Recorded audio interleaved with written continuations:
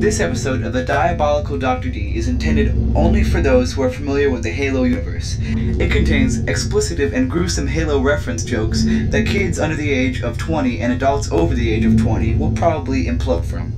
In other words, if you are a nerdy teenager who knows too much about Halo, this is perfect for you. But what about the people who made this in the first place? You will. I feel like this is self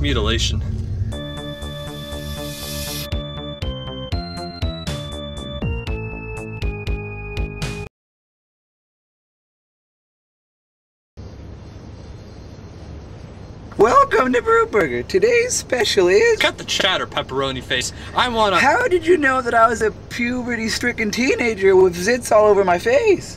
It's a cliche. Now, here are my demands. Order. Oh, yes, thanks. Now, I order you to listen to my demands.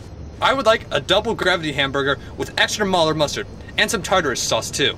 And as a drink, I would like some Jackal Jizz soda. And Jerry here, he would like a happy grunt meal.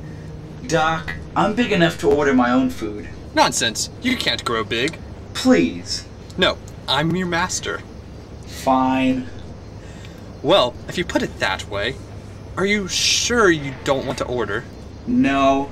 You want me to order for you? I insist. Because you might just be old enough. No. You can just get me that happy grunt meal. Okay, Wait a second. Arg. No. I want to order. fine then. Jeez. What would you like to demand? I demand to have a Cortana Cola and a Sergeant Johnson's foot long hot dog. Would you like some flood fries with that? Make it so. See, now didn't that just want to make you rip your ears off? You don't have any.